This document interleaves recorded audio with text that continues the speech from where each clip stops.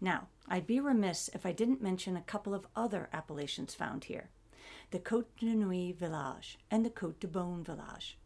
Where do they fall in all this? Well, the grapes do come from the Côte de Nuits or the Côte de Beaune, respectively, but they are grown in areas that do not qualify for one of the famous village appellations.